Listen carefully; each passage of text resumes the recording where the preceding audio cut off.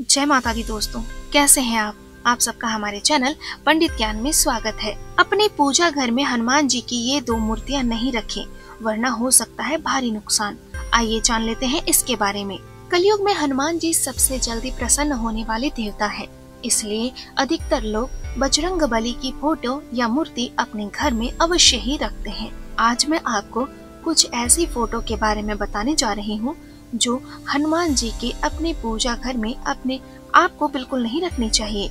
यदि आप ऐसी फ़ोटो अपने घर में रखते हैं तो इन्हें आप ले जाकर तुरंत ही किसी भी हनुमान जी के मंदिर में उसे चढ़ा दे या रख दे, या किसी भी देव स्थान पर उन्हें समर्पित करके श्रद्धा पूर्वक वहाँ पर विराजित करके आ जाना है। क्योंकि ऐसी फ़ोटो रखने से घर में कई प्रकार की बाधाएँ और घर में नकारात्मक शक्ति का प्रवाह होने लगेगा। हनुमान जी की कैसी फ़ोटो घर में लगानी चाहिए, ये सबसे पहले मैं आपको बता देती हूँ। इसके बाद कहाँ पर घर में हनुमान जी की फ़ोटो नहीं लगानी चाहिए और उसके बाद मैं आपको बताऊँगी कि ऐसी दो फ़ोटो है हनुमान जी की जो अपने घर के पूजा घर में आपको बिल्कुल भी नहीं लगानी चाहिए। सबसे पहले मैं आपको बता दूँ कि दुर्भाग्य को दूर करने के लिए हनुमान जी की ऐसी फ़ोटो की पूजा हमें करनी चाहिए, जिसमें वो श्री राम लक्ष्मण और सीता जी की आराधना कर रहे हैं। भक्ति भाव वाली फ़ोटो की पूजा करने से हनुमान जी बहुत जल्दी प्रसन्न हो जाते हैं।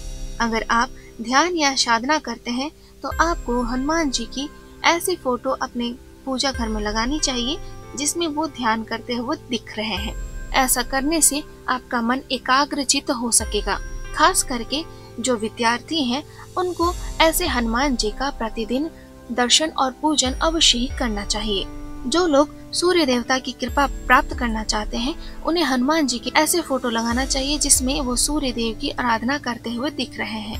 अगर आप नौकरी में प्रमोशन चाहते हैं या नौकरी चाहते हैं या रोज़गार चाहते हैं तो हनुमान जी के ऐसे फ़ोटो की पूजा करें, जिसमें उनका स्वरूप सफ़ेद हो फ़ोटो में हनुमान जी के वस्त्र रंगीन हो सकते हैं ऐसी फ़ोटो के रोज दर्शन व पूजा करने से नौकरी में या रोज़गार में या व्यापार में लाभ मिल सकता है इस बात का हमें विशेष रूप से ध्यान रखना चाहिए कि हनुमान जी बाल ब्रह्मचारी हैं।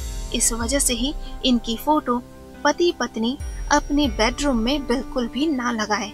हनुमान जी की फ़ोटो घर के मंदिर में लगाएँगे तो श्रेष्ठ रहेगा फ़ोटो ऐसी जगह पर लगाएँ, जहाँ से रोज हनुमान जी के दर्शन हो सके और हनुमान जी स्वदेव दक्षिण मुखी रहते हैं, अर्थात उनकी जो दृष्टि है, वो दक्षिण दिशा की तरफ़ रहती है।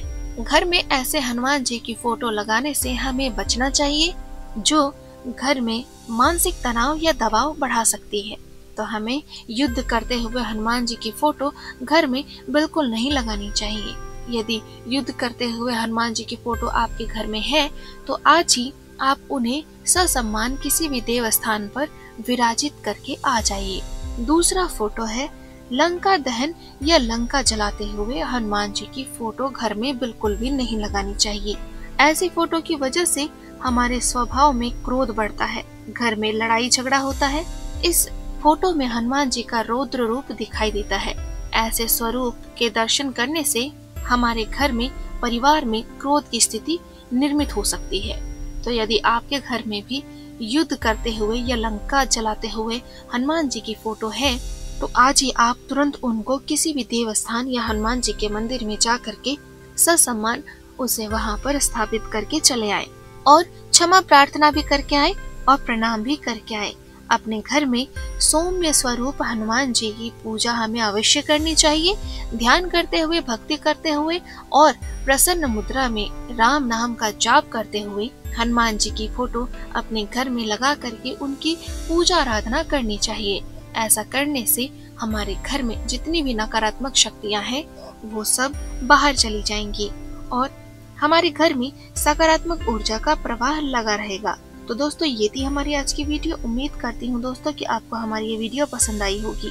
अगर आपको हमारी ये वीडियो पसंद आई है तो प्लीज़ लाइक करें, कमेंट करें। अगर आप हमसे कुछ पूछना चाहते हैं या फिर आप किसी समस्या का समाधान चाहते हैं तो आप हमें कमेंट बॉक्स पर कमेंट कर सकते हैं। दोस्तों, हमारे चैनल पंडित ज्ञान को सब्सक्राइब करना ना भूलें। जय माता दी।